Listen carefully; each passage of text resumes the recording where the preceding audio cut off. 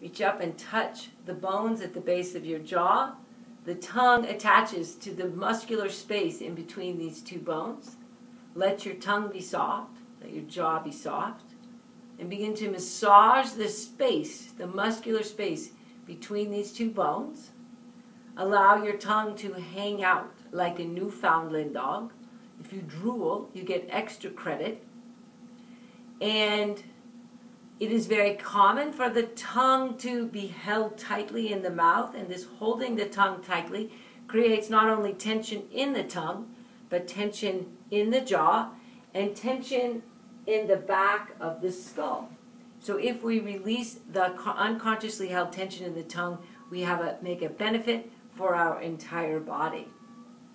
In addition to the muscular holding that we can do, there is a energetic muscle flow that the tongue has and tuning into it can assist with creating either relaxation or tension.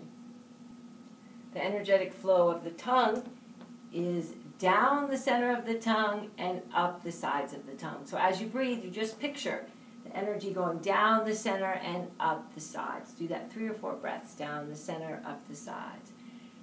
And we have another option. The other option is up the center and down the sides. Down the sides and up the center. Down the sides and up the center of the tongue. Which one feels more familiar or comfortable for you? To have less tension, the first one is the one that will create less tension in your tongue, in your jaw, in your neck, in your body, in your mind.